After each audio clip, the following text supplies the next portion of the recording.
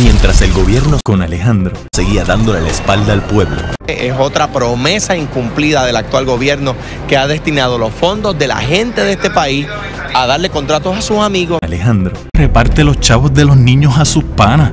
Otra vez Alejandro poniendo a sus amigos primero. Y la gente olvidada. Mientras el gobierno con Alejandro seguía dándole la espalda al pueblo. Es otra promesa incumplida del actual gobierno que ha destinado los fondos de la gente de este país a darle contratos a sus amigos. Alejandro reparte los chavos de los niños a sus panas. Otra vez Alejandro poniendo a sus amigos primero. Y la gente olvidada.